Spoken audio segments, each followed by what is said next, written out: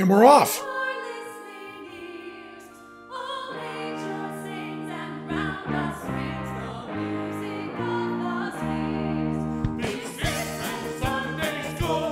Brothers, sisters, siblings, welcome to Penn Sunday School starring Penn Jillette. My name is Michael Goudeau, Matt. Freddie Rich Penn and I are broadcasting from our separate homes in Las Vegas.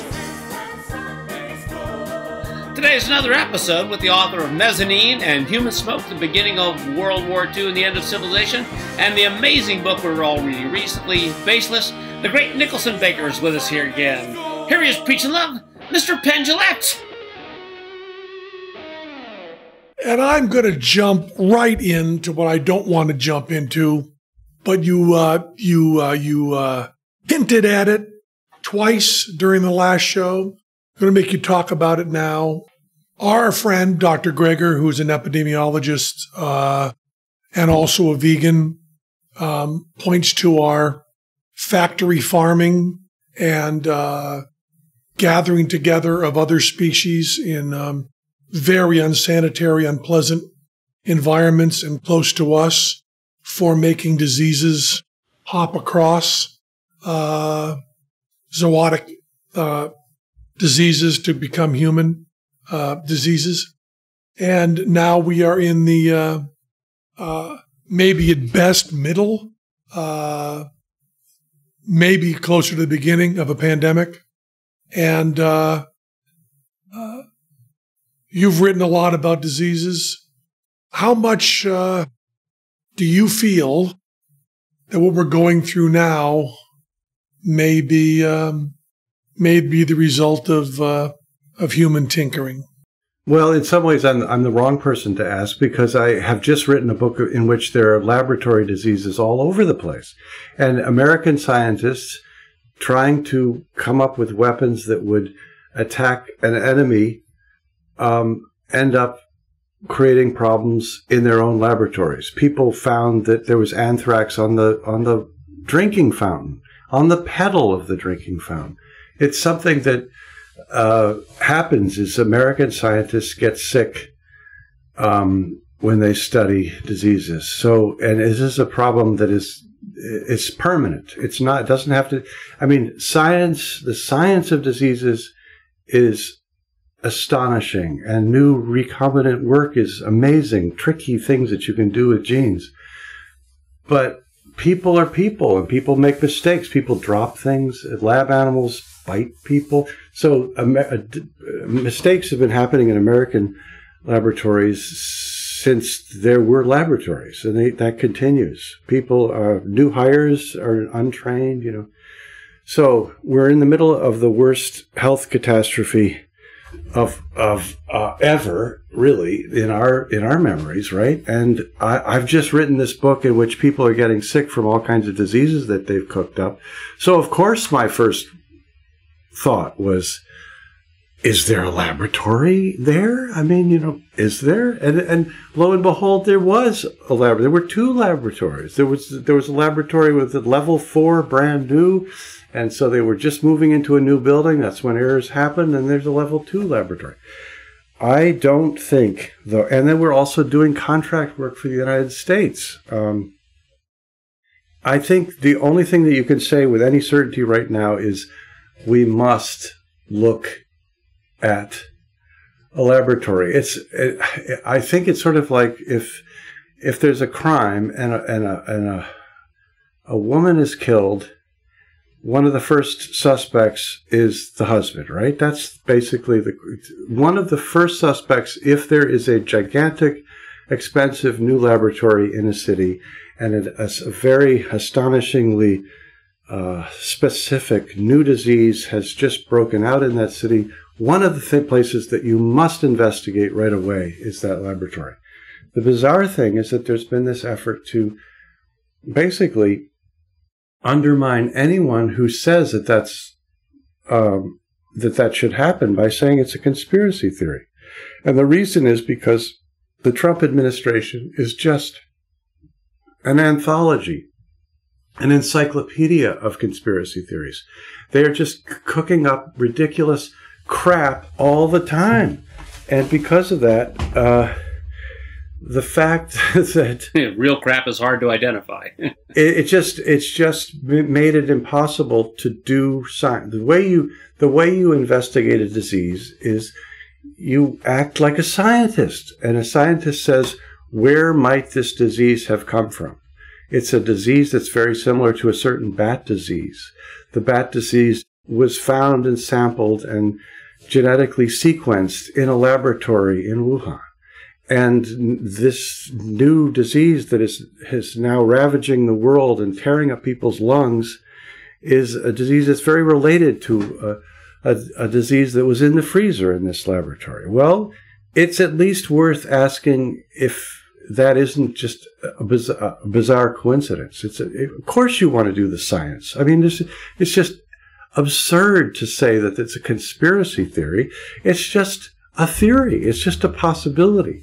It's not that it's a way, it should never be a way of saying the Chinese are bad and we should, um, you know, we should demonize them or in, because actually it was a gigantic, if it is something that came from the Wuhan laboratory, it's a gigantic collaboration between American scientists who figured out how to do all this crazy gene splicing so-called gain of function research and the scientists around the world that they were hiring to do some of the research. I just can't not think, having just ri- written about so many lab accidents, I can't just think to myself, this is the laboratory in Wuhan is is pristine. It couldn't possibly be the source of any disease because that wouldn't be right. That wouldn't be scientific. I mean, I'm not, not that I'm a scientist, but that would that would that's just not reasonable. I think you're you're you're pointing to something very distinct that conspiracy theories lack, which is just clumsiness and human error. That doing things on a large scale creates accidents. And I think the hard part about when you hear conspiracy theories is that it is a definitive authority for you know diabolical gain is why right. you would invent uh, um, with intent. Yeah. Intent, right? There's no intent. But there was no intent to make people in China sick. No intent to make the entire world sick.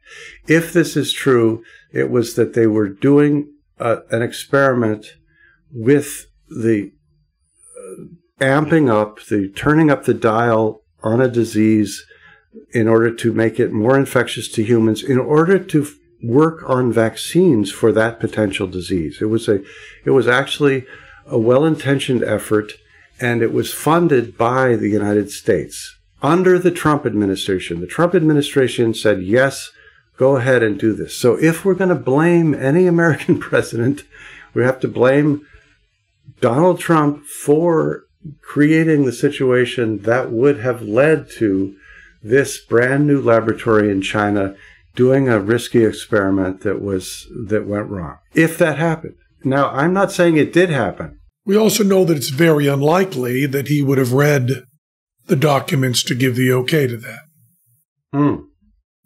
We know that. Uh, yes. I mean, it under his watch, but mm-hmm. you know, there's probably one president who's read everything handed to him, and that's Obama. I don't think anyone else has done the level of homework that's really required to be president. And Trump, I believe, has done the least of the homework. So, but what's so soul crushing about this is we have the team sports have been set up so strongly mm-hmm. that when um, Trump says it could be out of a laboratory in China, automatically half the country says absolutely not. It's, you know, it's a nat- natural cause. And to be able to cross those battle lines intellectually is so difficult. Mm-hmm. So difficult. It is. In fact, I don't know that it's possible. Right now, people are dying from this disease.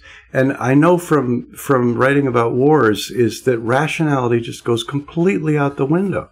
Right now, we're in a war. We're in, we're in a, the situation of immense threat against people. So that nobody is going to think rationally right now about this particular this this pandemic. So um, it doesn't. I, I just I don't know what to say actually about this. I mean, I I I feel that uh, um, I have a strong suspicion that something went wrong there, but I just I mean I I don't even want to say it because it even saying it seems to open up some kind of avenue of uh, of of out of context politicization that yeah. that makes it you know. So I just basically have avoided writing about it. You made it very very clear that you are a man with a hammer and you are seeing nails. I mean, you've just finished the the book that would make you look at that laboratory, but uh, you you make a you make a wonderful although measured case. I don't think you've said anything that's um that's that's wrong at all. I think that the the case you made was was was very very measured, and uh, I don't want to uh, and will not you know push you further um, because looking into it is what we want. Doesn't it seem? I mean, we know from reading your book that the most likely explanation is that a contractor used the wrong piece of tubing somewhere. You know what I mean?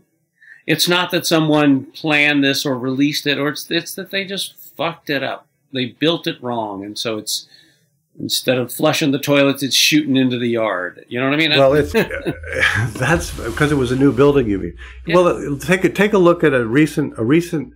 Uh, now, because the virus is is all over the place, there's all this money to study the virus. So, at the University of North Carolina, um, the, which has been studying bat coronaviruses for something like 15 years and has done some of the most amazing, impressive, and really breathtakingly risky experiments on the planet without without mishap. Somebody was uh, holding an experimental animal, I think it was a rat, and the, the animal bit through the person's glove, so they reported it. This is a, a, a lab error at the premier coronavirus laboratory in the United States. I mean, this is the place that cooked up all of the research about how to tinker with these genetic sequences. And there was an error there. The error was because, you know, something went wrong. An animal bit through somebody's glove. The person didn't get sick. There was no, no fallout. But if it can happen there, it can happen anywhere, basically. That's, it's just, it's, it's just a, it's a fact of life if you've got experimental animals, you've got you've got crap around, you've got cages, you've got animals that are just literally batshit crazy because they've been kept, you know, in, in confinement. It's very hard to keep bats, live bats, very, very difficult to keep them alive. I mean, just look at the possibilities. what was going on, what is going on in, on this planet right now is that very uh, strange concoctions of viruses are being FedExed all over the place to different laboratories in order to study them. And what went on before this is that different samples, of anal samples and bat guano samples from all over the place were brought back to certain laboratories in order to be sequenced and studied. So you pull stuff that was never been looked at before, had never had any human contact before, people going into caves that have never been visited before. You have it all concentrated in one case. One scientist um, I, I, talked to said, "Is that a good idea? You know, to uh, to bring back all all those weird weird bat diseases and pangolin diseases and civet diseases and everything, bring them all back to one lab?" And he said, "No, it's like looking for a gas leak with a lighted match." Oof. That's a good analogy. Yeah. And I think it just, yeah, I think one of the um, overwhelming things about your book is that, like, normally when someone's going to break down these particular operations, these particular experiments, you want bad guys, right? And so you you already in the last podcast spoke with such humanness about these pursuits. You keep, I keep want, I kept reading, wanting there to be a central figure, or wanting there to be a central time period you know right right yeah. and it's just overwhelming that we will as humans or or americans like can continue these someone will pick up the baton someone will pick up the torch uh, somebody will have a curiosity driven towards this Um, I mean, these you're constantly, you know, the Pandora's box analogy, constantly trying to find these crazy things that will crack open um, something awful. It's, if we don't really, do it, somebody else will. Right. And, and the idea is um, what is an emerging disease? An emerging disease is a disease that doesn't exist but might emerge. So, how do you find an emerging disease? Is by tinkering with the genetics of it to make it an emerging disease. So it's as one scientist said, it's a it's it's like firebugs who are fascinated, you know, who set fires in order to put them out. It's it's a way of of looking at something with fascination and proving to the world how dangerous it is by messing with it. And it's it's a very dangerous game. And and and, and a whole bunch of scientists back during the Obama administration said, This is ridiculous. Don't cook up horrible things in laboratories and make bad diseases worse because it's nuts. Okay? Stop. and they had a whole, they had a whole, uh, um, it was essentially a petition, but it was called a statement. It was signed by Nobel laureates and people all over the place. No more so-called gain of function, which means making it jump from an experimental animal to a human research. Don't do it except uh, if you're going to do extremely tight risk reward analysis. So they did that, and the Obama administration put a, a hold on it. And then in the last days of the Obama administration, they said, well, okay, maybe we should resume. And then, of course, in the Trump administration, it's like drilling for Arctic oil or all the other stuff that Trump does. You know, let's it's it's a let's just let's just go with it. Let's just do it. So gain of function research got a big boost in 2018 from the Trump administration. So it's just um, I don't know. I I did not know that at all. That's the most damning evidence you've presented. Uh, only because this president seems obsessed with undoing every single thing the last president did. It seems to be like the primary function of his uh, agenda. Now, now, now, Matt, to put the attention a little bit more on uh, on Nicholson, while he had his headphones off, you asked you asked a question that was really good that I want you to ask Nicholson. Okay. Um, so as you get into these um, these FOIA requests, freedom of information requests, right, right, you started like meeting people whose lives kind of seemed dedicated to chasing down these FOIA requests. Yeah. Um, when did you go to uh, observing them uh, being one of these kinds of people to you becoming one of these kinds of people? And when did you realize it happened?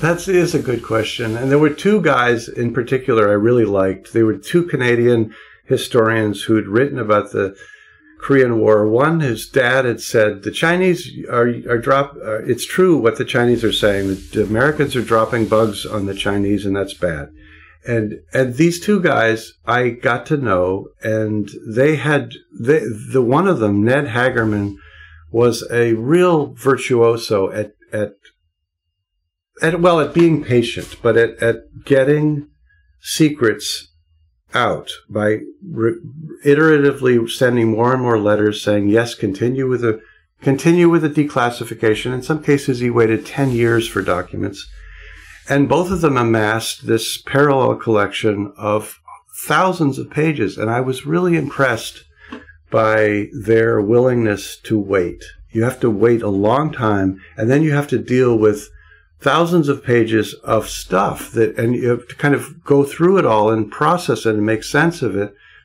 Um, learn the names of the people, learn the secretaries that who typed the documents, you have to live with the documents. And, and, and I, so I started to do that first with their help. And then on my own, I went to the National Archives and did it. And then I realized that there were people who would, who were so far beyond me in this. There are people who've made thousands and thousands of FOIA requests. Um, there's a guy named Ravnitzky who's just tireless, and there's a person at the at the National Security Archive, William Burr, who just every every day, every week, he is waiting for something to come back, but he's putting something in. So it's just sort of like he's feeding this uh, feedback loop. And most of the time, what comes back is a refusal.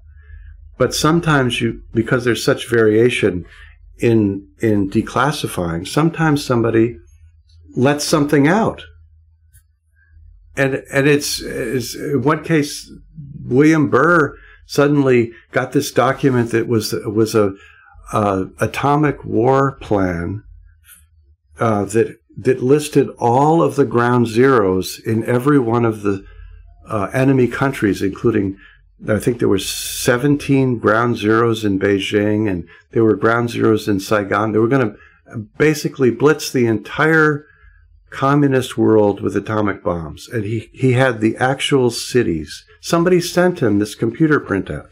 So it's a huge sort of a, a step forward in that we know more about the specifics of it. But it takes years of effort. And I don't have, I can't do that. I am impatient. I, I want to write what I know and be done with it. And I've, you know, this book, I've been working on this book, waiting for seven years or eight, I guess eight years now for documents, and I just can't wait anymore. So I, I, I ended up writing about the waiting because that was yeah. all I, you know, because the waiting turns out to be part of what I thought was a sort of form of psychological warfare in a way against history, against historians. How hard is it not to write the snotty letter? How hard is it not to curse on these requests?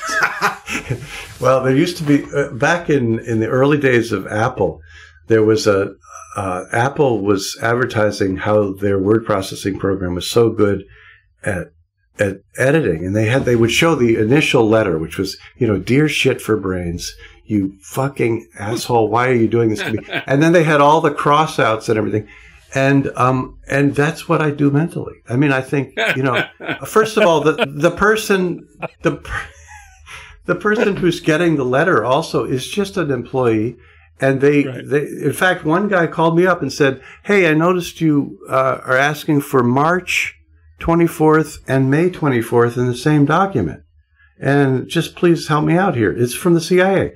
Could you please tell me?" Whether you mean March 24th or May 24th. I said, wow, you know, yes, I, I meant, I meant May 24th. And I, I hung up and said to my wife, you know, CIA just called to check a date. they wanted to make sure they weren't sending you the right thing. yeah. Of course, what, what, once I got it, I realized they're still not giving up anything. They still, the redactions are all there. All the juicy stuff has been whited out. Damn it. But, um, but it's, but it was it wasn't. It wasn't an illustration of the fact that nobody, nobody outside of you know, Batman movies is is uh, is an enemy in that way. Is an is an evil genius. No, there's none of that. It's all just people sitting in offices trying to get through the day.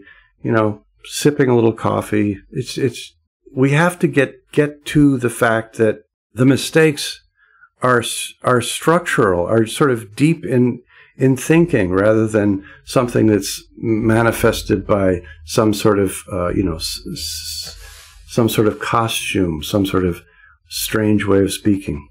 I was fascinated by the section where you said the uh, Russian information was better than what you could get from your own government. And it was, it was absolutely, and I found that over and over again. The Russians had a lot of agents in and uh, they were willing. And they published. You know, they would say in Iran there are now people agitating, or in, in East Germany, and it was absolutely true. But of course, the American idea was to was plausible deniability, and and so these the State Department would deny things that really, I mean the the the level of just shameless denial for decades is amazing to me. I, I guess that's what I, I didn't understand is the ability to lie straightforwardly and to and to enlist the press in your lies because sometimes as James Reston said I quote him saying what's so disturbing as a journalist is that that a journalist will have to publish something that he knows to be untrue and that's because the, the CIA has gotten involved in in in dark operations, and that's that shouldn't be allowed. It's that's a problem. Is that wall of secrecy normal for historians, or is that just an artifact of this period in time? Like if you were living in the Crusades and you wanted to find out about your side, could you find it out from the enemy better? Yeah, I think that's probably a good. I think that's a good point. You can always find out the the bad points of your own actions from the enemy better than from your own people. of course, and and the, but the but the uh, the uh, unusual thing about the period from 1948 to say 1990 was that uh, through the Reagan administration and beyond is that um, that there was an entire bureaucracy, a real huge thousands of people devoted to figuring out ways to do things that were disinformation and, and, and stealth. And so that was that's a new thing is i don't think there's ever been even in the worst excesses of the czarist regime has there been an agency well i guess you could say that that, that the russian secret service and the british secret service were both uh, models but i think that the american clandestine arm of the not the smart scholarly CIA, the people who pipe smokingly write long papers about the Guatemalan economy that obviously presidents don't read but that are there. Not those people, but the people in the clandestine units who are training commandos and dropping into that part was new. And that is something that the second half of the 20th century imposed on the world that I think is was new to history, and we're still dealing with the results of that um, that kind of that, that action. I'm going to uh, do uh, one quick ad here, and then I want to, uh, I think, talk a little bit about uh, human smoke, another uh, very bothersome Nicholson book. But first, I'm going to tell you about Hello Fresh offers convenient delivery right to your doorstep for easy home cooking with a family. Recipes are easy to follow and quick to make with simple steps and pictures to guide you along the way. HelloFresh cuts out stressful meal planning and grocery store trips so you can enjoy cooking and get dinner on the table in about 30 minutes or even less. You can save 40% off by using HelloFresh versus shopping at your local grocery store, and it's more convenient too. HelloFresh's gourmet recipes like their balsamic fig sirloin over 60% cheaper than the average meal out. So you can enjoy a restaurant quality dinner for less. It's delicious and it's nutritious. Uh, Goudeau, you eat these all the time. I love them. There's something for everyone. Low calorie, vegetarian, kid friendly options. Uh, the food is pre-proportioned, so you're not overbuying, which is a burden on the planet. Uh, the packaging of HelloFresh uses to ship your food is almost entirely made from recyclables and or already recycled content. Um, it's flexible for your lifestyle. Keep your fridge stocked by adding extra proteins or sides like garlic bread in your weekly order. Easily change your delivery days or food preferences. Skip a week whenever you need. And HelloFresh is committed to making fresh, delicious food available now more than ever. It has taken extra steps to keep its employees and customers safe, including contactless delivery, tamper-proof packaging, and team member wellness checks donated over 2.5 million meals to charity in 2019. Um, uh, we just, it's a great company. Uh, go to HelloFresh.com slash 80pen and use the code 80pen, 80pen, 80PENN. Get a total of $80 off your first month. $80 off first month is really good, including free shipping on your first box. Additional restrictions apply. Please visit HelloFresh.com for more details. HelloFresh.com slash 80pen. That's H0P-E-N-N. Now, you know, uh, I've always been, uh, I think, because of my age, but also other stuff, I've always been a, a peacenik. And I've always had this um, nagging feeling, and something I've even said, that um, well, we want to stay away from war, and pacifism is probably the answer, but World War II, we probably did the right thing. Uh, that was always the hype, I believe, that Korea and Vietnam, they were really bad ideas. World War I was really fucked up. But World War II, we went in and saved a lot of uh, people that needed saving. Hello, smoke. I'm um, hello, smoke. Human smoke.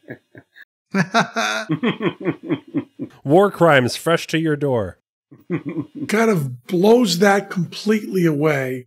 Did you start out a complete pacifist when writing Human Smoke, or did that come to you? You should also tell what Human Smoke is. It's yeah, it's mostly other people's words. Yeah, you yeah. mostly curate and go in order to the reports of the early parts of World War II with the most powerful editorializing I've ever seen, which is the almost complete lack of editorializing.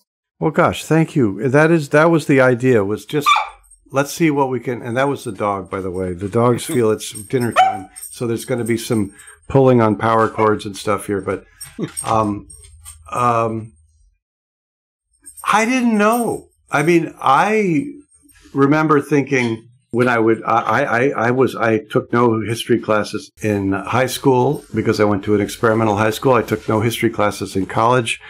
Um, so I'm completely self taught. And I thought, well, this, you know, I could see that that there was never a worse person in history than this man in charge of the Axis in Germany.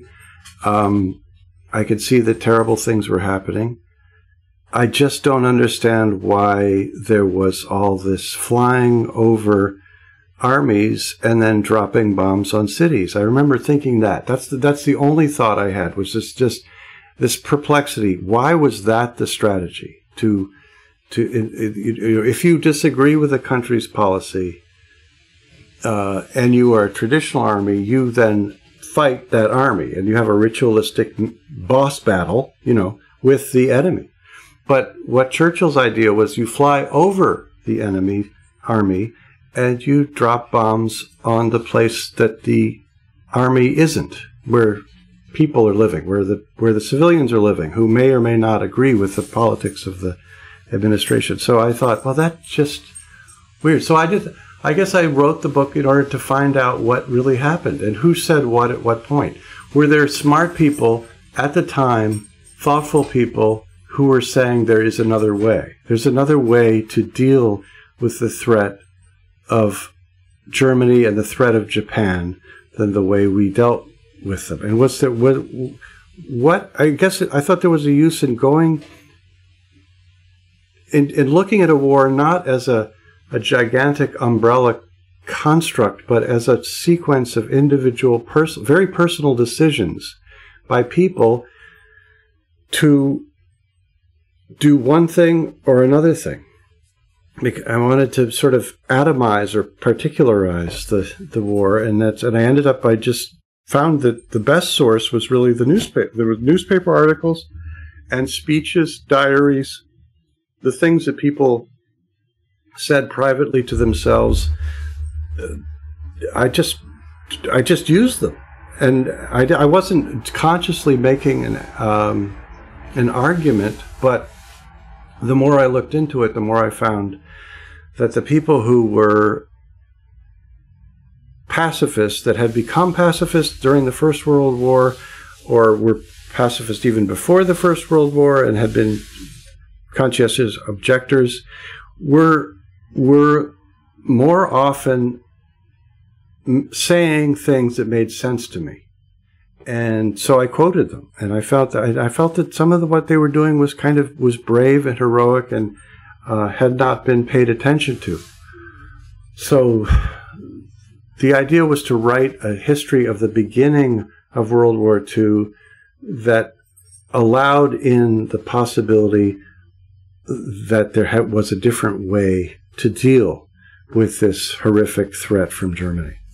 Now you you uh, you made me think, which was saying something because I thought about it a lot before, but you made me think so much more about pacifism. And uh, that is a tool. And of course, from um, uh, Steven Pinker's book and now this uh, new book, Humankind, that's out, mm-hmm. we find out that um, if you had no morality whatsoever, if you just wanted your revolution to be as successful as possible and you did not care about human life. hmm Turns out Mandela and Martin Luther King are still the fellas to follow, which is so shocking Yeah. that um, that that that peace works, um, that nonviolence works. Uh, Right.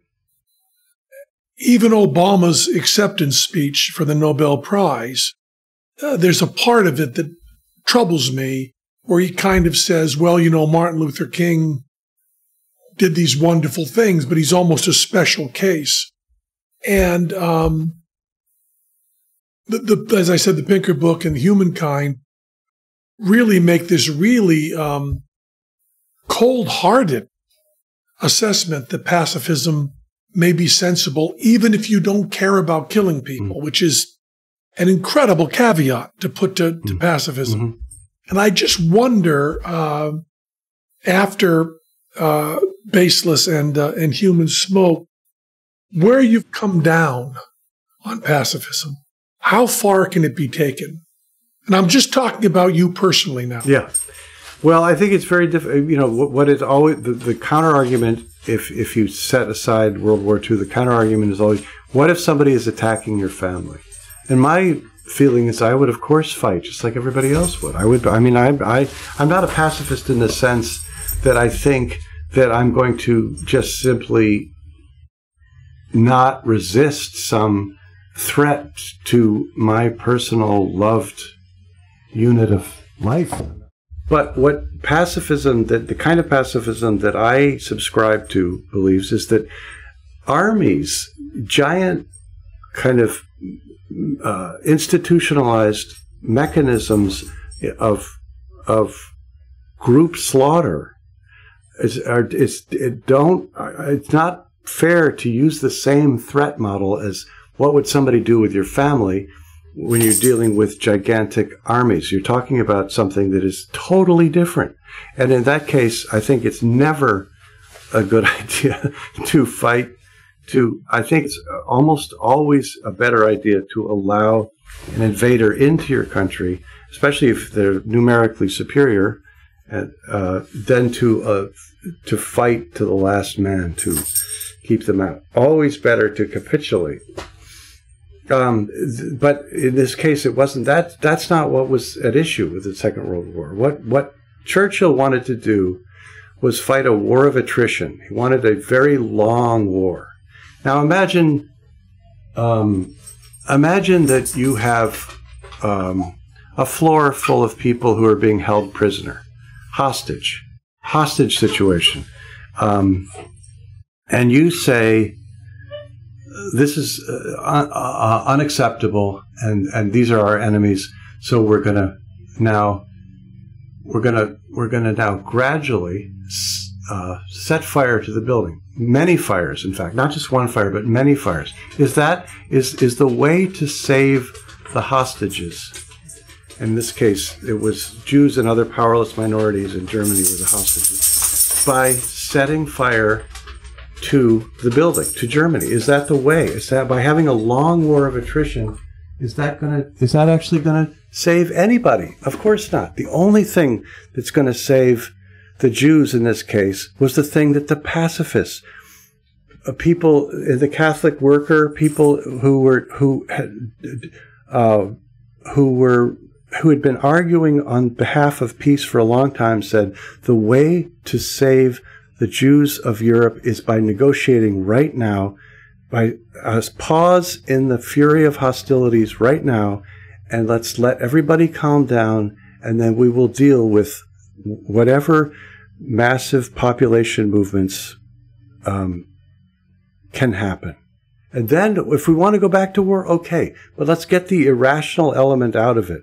Let's have a ceasefire, and then people can escape who want to escape, and then if you want to go back to fighting, okay. But what, but that was not ever possibly possible to take up because actually the appetite was for a war to the end, a, a, a kind of a, an, a true Armageddon battle was, was what was happening. And it was happening via building these bombers that had you know, thousands of, bombing planes was the was the proposed solution to this thing.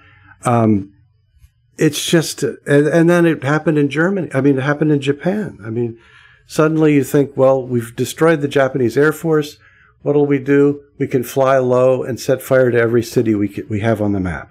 You know, um, is that what's how is that in any way a good? I mean, it's just not a good idea. It's wrong. It's just terribly wrong. And I guess I want to re- rescue the primitive feeling that some things are just simply horrifyingly wrong. I want to read uh, to that a um, you know one thing we we haven't done is talked about what a fabulous uh, writer you are in the detail level. This uh, few sentences, just few sentences from your book. Uh, this is from Baseless. Just just stop me dead. The mistake is to convince young men of 18 or 20 that their selfless, eager, almost puppyish desire to be admired is worth ending their lives for. It's not. Oof. So uh, someone else asked a question after that. Those two sentences have destroyed me. Uh, even simple sentences that were just like you're you have to say every, every dog has a novel inside them. Um, just came at the conclusion of like uh, observing the very dogs we're listening to right now. Um, um, Well, such a beautiful conclusion. thank you. it's it's Thank it's it's it's so perfectly written. You don't need um, anything else. And that happened, guys. Please relax. Okay, it's going to come. Um, the the I went. I I just I wanted to write in different places in this book, so I parked in the graveyard, and I saw them with leaf blowers. This team of five guys blowing all the leaves, and the leaves were just in this kind of wave, golden wave over all the gravestones, and this absolutely absurd craziness of of of you know these why would we send people off to do that? When and and kind of cheat them of their lives but also trick them into thinking that heroically dying is a good thing. I mean it's just uh, because the generals the generals who are all doing that have all survived. They're the survivors. They're the crafty ones not the ones who did, died in okinawa or wherever. So anyway, I just want to thank you for for seeing for noticing that that phrase and for noticing the phrase about the dog. Every dog has a novel. It's the uh, uh, be a leaf tumbling and leaping around a gravestone. Don't be a gravestone. Exactly. It's I yeah. Well, I I believe that. Um, I believe it, and the, and the, and I and I I feel that it's worth saying, even though I know people are. I know some people roll their eyes and say, "Oh, you know that this is overly simplistic or anything." But that book, that that, that last book that you were talking about, that that shows that nonviolence is actually more of the time more successful than violence. That it gets results is a powerful thing to keep in mind. Is is that actually is that uh, the movements since since f- all, all through the second half of the 20th century, the movements that wanted to attain a political end, the movements that were nonviolent, got results more than the movements that were violent. That's a powerful thing to know. That's an incredible piece of information. And now I don't believe that piece of information to, to say that um, Martin Luther King and Mandela were were pragmatists. you know, is a is a is just an incredible, incredible piece of information. I've also, and I guess this is very oversimplified, but if a group of minorities is not wanted by their government, and another government says that uh, oppressing those people is wrong, Mhm. then it seems like the best answer possible is come on over. Yeah. I've always wondered why isn't Israel in Arizona? We've got some fucking desert. There were, there were there were proposals to have have so-called you know set aside lands, but that but it was not acceptable to the Roosevelt administration Yeah. to They, allow. hadn't they considered um, Tasmania? No, um, Madagascar. Madagascar. No, but also I think they also considered uh, Tasmania, and they also considered. I mean, rewriting the world so that you know Hitler comes along and says, uh, "We don't want Jews," and America says, "Okay, we'll take them." Seems to be our country just gets better. I'm reading a, a, a book right now uh, by David Swanson called "Leaving World War II Behind," and it, the point, the whole purpose of the book is to is to say, you know, everyone thinks that World War II is a special case. You may be against wars in general, but this is the one. But he shows sort of systematically, chapter by chapter, it wasn't fought on behalf of the Jews. It, the, you know, one question after another, he sort of deals with, and it's really a powerful way of, of I think, making a case for you know good sense and and just re- a reasonable approach, and and maybe the whole specter of Churchill's greatness can be moderated. It might not be that he's thought of as a as a terrible man, but he's now thought of as the greatest politician of the 20th century, when in fact he was the person who was most responsible for two two and a half ferociously devastating wars. I mean, he was he was a cheerleader for World War One, which was, and then he and that he was a tremendous lengthener and exacerbator of World War II. So maybe we can put him aside and say he's not the hero we thought he was. Let's look at some other heroes who look who had a who were saying things at the time. Well, the good news is that it certainly is going in this direction. You know, there, uh, yeah. there, there are fewer terrorist attacks, fewer murders, fewer deaths. Uh, no matter how much the politicians are selling fear, the facts are just not behind them. Right. Um, things things are getting better and coming along, and uh, boy, it's hard to see now. It is hard. It is hard, but I do. Uh, one of the things that one of the reasons I think I write about these things that happened a long time ago, World War II, and and now Korea, is because um, it's kind of amazingly, thrillingly, comfortingly, you know, uh, just calming to think that at that point hundreds of thousands of people were dying in these these conflicts, and that, and now there's still people are dying, and still cities are being destroyed by drone bombings, for instance. But the death toll is not is not so great. So I, I mean, I guess that's the Steven Pinker argument that things are getting gradually a little better, and I have to hope that that's true, even though there are you know dips. Yeah. That the that the the trend is upward. Well, having the uh, you know having the worst uh, health crisis, uh, I guess in human history, it's going to end up being um, is uh, is uh, is makes it hard to be uh, the pathological optimist I often am. but well, that's one reason why it has. We have to get to the bottom of it. Is this a human created thing, or is this something that some bat and some pangolin cooked up when they met in a bar? You know, I mean, well, let's find well, out. But either either one is human. I mean, the yeah. the way the the pangolins and bats were treated by humans allowed we it to jump. bar. yeah, we built the bar. um, uh, but I also want to want to say uh, uh, yes, Baseless is your is your is your latest book. I absolutely love Substitute, where you're a substitute teacher for a year and just report. Uh, you are able. Thank you. Thank uh, you are able to report and tell the truth slanted better than anyone I know. uh, I read your books and I think, boy, he's just reporting. He really isn't editorializing at all. Then at the end of the book, God damn it, I'm thinking just like Nicholson Baker. Um, I, I did uh, well. That's very happy making to hear you say that.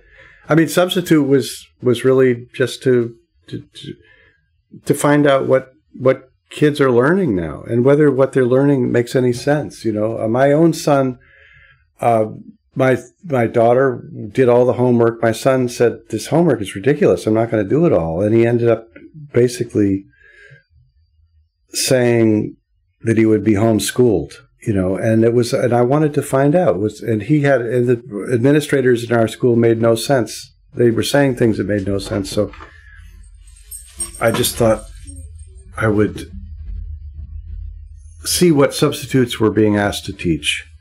Um, and a lot of it was Jesus was I mean a lot of a lot of what is on the in the curriculum is just simply ways of taking up people's time. I mean, it, you know, so much of it you could learn more efficiently watching YouTube, and the worksheets were painfully, painfully bad. But but the kids were so great. I mean, uh, I was uh, these are Maine schools, but these kids are not. They're not necessarily you know going to set the world on fire with with their quantum mechanics or something, but they are. They were genuinely lovable people. And I, I was just sort of appalled at, at how much I liked the kids. And then I would have to hand these horrible worksheets out to them, and they would just do them. They would just, you know, there was long strings of arithmetic or something. They just, okay, that's what they want me to do. I'll do it. You know, so and it just feels like mm, there's got to be a better way to to uh, deal with the, that much good nature than than what the school system was doing. You say in the middle of of crops being wiped out and people being made sick and all these covert operations, right. you then say the most troubling thing of all, which is you might not be writing another book right away. You might be going into painting. Now I know if you go into art, I'm going to love it, but God damn it, you're not going to really stop writing books. Well, uh, isn't it? You know, uh, sometimes I think that every writer has, or every artist has a certain amount of time that they get.